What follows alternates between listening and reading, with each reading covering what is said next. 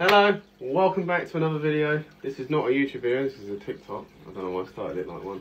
And today, what we will be doing is, we will be doing a enclosure for my new baby uh, Guadalupan stick insects, also uh, named as the guerinis. So that's where we'll be starting.